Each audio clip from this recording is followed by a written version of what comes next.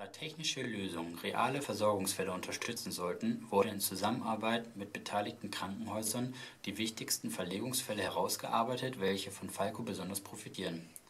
Dazu ist eine vertrauensvolle Zusammenarbeit der Krankenhäuser notwendig, sowohl auf Ebene der IT als auch in der Medizin.